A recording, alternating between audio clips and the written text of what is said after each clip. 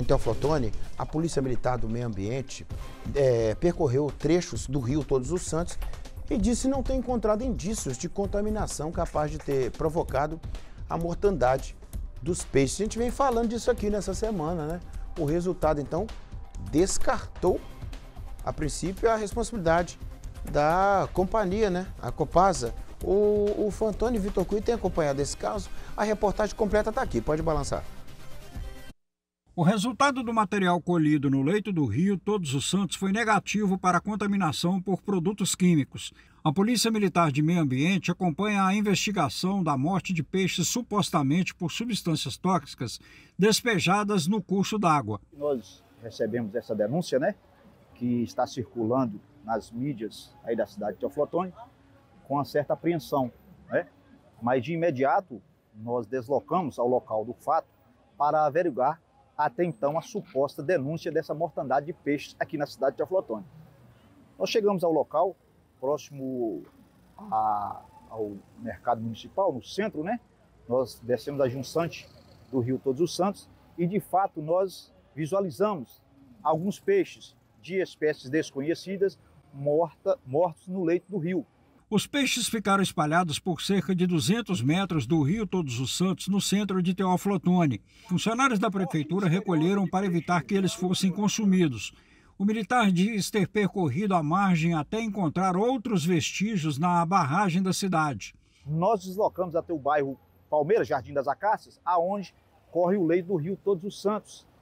E acompanhamos ali aproximadamente no leito daquele rio aproximadamente 2 quilômetros, aonde nós não localizamos a mortandade de peixes. Mas nós subimos até a proximidade de uma barragem que existe na cidade de Teoflotone, é de conhecimento, e nós conseguimos visualizar alguma, algumas espécies de peixes mortos naquele local. Em visita à unidade de tratamento da Copasa no centro da cidade, o militar diz não ter encontrado irregularidades. Não houve derramamento de efluente, de esgoto por parte da Copasa naquela localidade o que possivelmente tenha ocorrido, como a própria nota da Copasa fala, que nós estamos vivendo um tempo de estiagem, poucas chuvas, nós estamos com, com, com, com, com algum, alguns meses que não chova. Possivelmente tenha ocorrido essa, essa, essa baixa quantidade do volume de água, essa estiagem que está passando, a mudança de temperatura, de temperatura térmica, essa inversão térmica, que possivelmente possa ter ocorrido um choque térmico nesses peixes. Outra coisa que a gente tem de observar, o assoreamento do rio.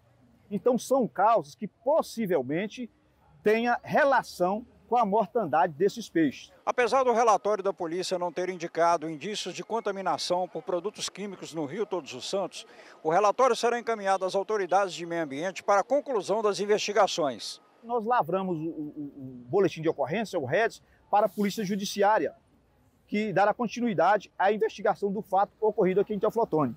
Comunicamos ao NEA em Belo Horizonte, comunicamos aos outros órgãos que trabalham em parceria com a Polícia Militar, com o intuito de levar essa segurança e informação exata do fato que ocorreu aqui na cidade de Teoflotone. O militar reforçou o pedido para a população não consumir os peixes mortos.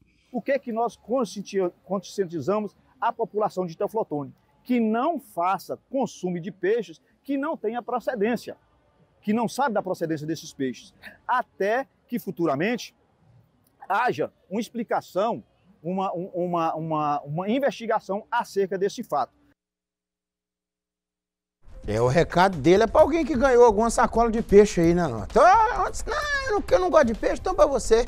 Então abre seu olho aí. É, o Fantônio vai repercutir isso com a gente aqui, né? O repórter Fantônio Peixe, ele chega ao vivo aqui com outras informações desse caso, é, que deu o que falar essa semana. Praticamente todos os dias você trouxe algo novo sobre os peixes, né, Fantônio? Boa tarde para você, meu peixe. Tarde, Nicomedes. Boa tarde a todos que nos acompanham pelo Balanço Geral. Nicomedes, não só quem ganhou uma sacola de peixes, mas até quem comprou a sacola de peixes. Nós temos informações que algumas pessoas que tem, aconteceu isso aqui. Teve gente que comprou a sacola de peixe aí, então tem que repensar bem o que que fez. Mas, Nicomedes, vamos lá. Ah, após essa análise aí, o local onde supostamente teria ocorrido a contaminação do Rio Todos os Santos, mas em princípio isso está sendo descartado. O que pode ter acontecido, segundo o que as autoridades avaliam inicialmente, é uma questão da inversão térmica. Isso porque Teoflotone é uma cidade em que as temperaturas são acima de 20 graus centígrados na maioria dos meses do ano, em torno de nove meses, a estimativa de, de durante nove meses do ano, a temperatura em Teoflotone não baixa de 20 graus centígrados. E aí o que, que a gente tem? Temperaturas aqui até de 12, em torno de 12, 15 em alguns dias, e isso causa o quê? Aquele problema da pode causar um problema no Rio Todos os Santos. Outro ponto importante, é que o rastro de peixes mortos foi encontrado, foi concentrado aí nesse trecho de 200 metros na área central, mas o subtenente Samuel, ele fez uma pesquisa ao longo do rio Todos os Santos, depois fez a derivação para o Santo Antônio, no Santo Antônio não havia peixes mortos, então ele voltou novamente para o Santo Antônio e subiu até a barragem, onde foram encontrados peixes mortos. E agora as autoridades se concentram em, em buscar explicações por que esses peixes apareceram mortos no centro de Teófilo Otoni e até na barragem da Copasa, então, que é a Companhia de, de Água e Esgoto do Estado. Então, isso também está sendo verificado. Por que dessa situação? Vale ressaltar, Nicomedes, que é um, um acidente que há quatro anos não acontecia nessa proporção, da outra vez foi detectado o que aconteceu, a contaminação que, conta, que aconteceu, mas agora não, há uma dúvida. E aí vem aquela preocupação. Então, antes de dizer que é, é A ou B a fonte desse problema, tem que se esperar uma análise química, né, uma análise de laboratório da qualidade da água, também dos peixes que foram coletados serem enviados para o laboratório para se fazer uma pesquisa da causa-morte deles, que tipo de produto pode, possa ter provocado. Então, enquanto isso, Nicomedes, vem uma outra preocupação, e aí os ambientalistas, os amantes da natureza têm que se atentar a isso. A recomposição do, do rio com esses peixes que morreram. Então, são peixes de várias espécies que precisam é, ser, é, tem, tem, que ser recuperado isso aí.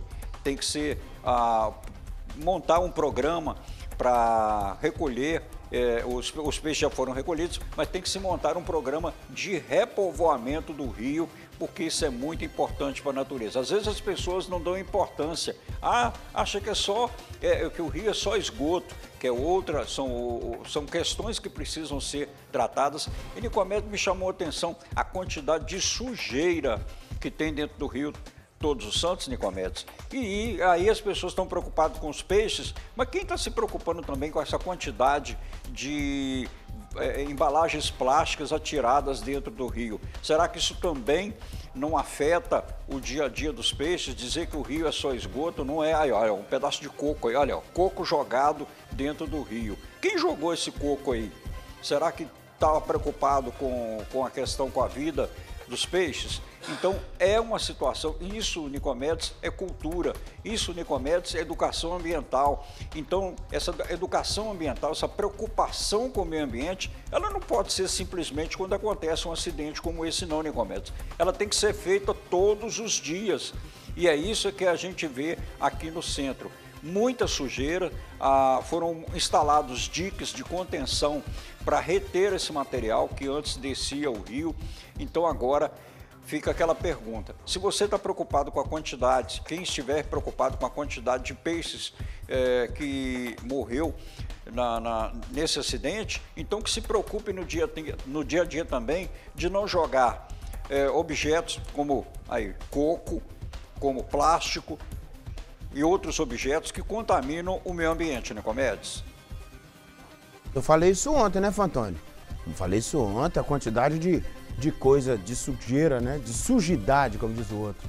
E tá aí no Rio é um negócio absurdo, né? É, a gente vem maltratando a natureza já tem um tempo, né? O próprio Rio Doce nosso aqui, Fantônio, aconteceu o que aconteceu, o maior crime ambiental do mundo lá em Mariana, né? Que arrebentou o Rio Doce, mas ele já vinha também sofrendo com, com descaso de nossa parte, descaso do poder público, né? É, é, tem que cuidar do, do, do, meio ambiente, das águas, que daqui um tempo não vai ter água não, viu, Fantoni? Misericórdia. É. Obrigado, Fantoni Peço.